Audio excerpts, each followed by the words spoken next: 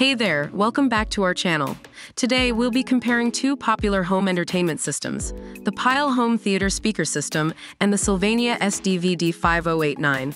Before we start, don't forget to like this video, comment, and subscribe to our channel to stay updated with our latest videos. Let's dive in. The Pyle Home Theater speaker system gives you a peak power of 300 watts, while the Sylvania SDVD 5089 provides a max power output of 450 watts. The Sylvania SDVD 5089 undoubtedly outperforms Pyle Home Theater speaker system in this category. The Pyle Home Theater speaker system features five inputs, including two HDMI in and two aux stereo input. It also has an FM radio antenna input.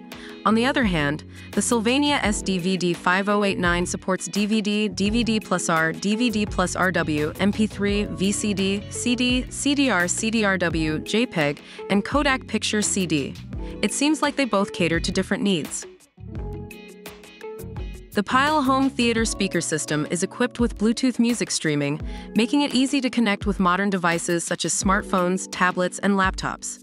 The Sylvania SDVD 5089 does not support Bluetooth connectivity. Both systems provide full-range audio reproduction. The Pyle Home Theater speaker system provides a 5.1 surround system with a built-in subwoofer, a center channel speaker, and four directable satellite speakers. Meanwhile, the Sylvania SDVD 5089 boasts a fully decoded 5.1 audio output. This category is a tie. The Pyle Home Theater speaker system comes with a price tag of $184, while the Sylvania SDVD 5089 costs $119. In this category, Sylvania SDVD 5089 is more budget-friendly. That's all for today's video. We hope you found it useful. Don't forget to leave a like on this video, comment your thoughts, and subscribe to our channel for more reviews and comparisons. Thanks for watching, and we'll see you in the next one.